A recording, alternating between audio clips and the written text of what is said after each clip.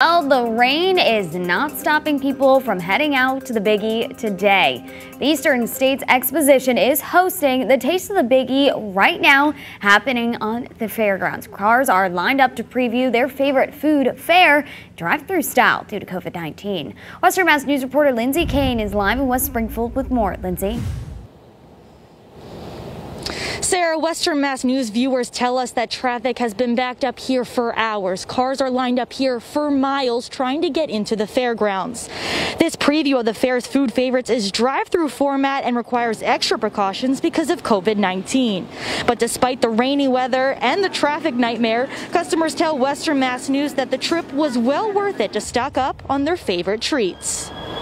Candy apples, cotton candy, chompers, chompers, Yitos, Yitos, kettle corn, kettle corn, chocolate covered bananas. We got a little, we got a little bit of everything. So, um, City officials are still discussing if the Biggie Fair will even happen in September.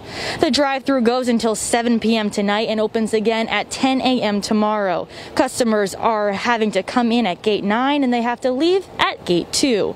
Live in West Springfield, Lindsay Kane, Western Mass News.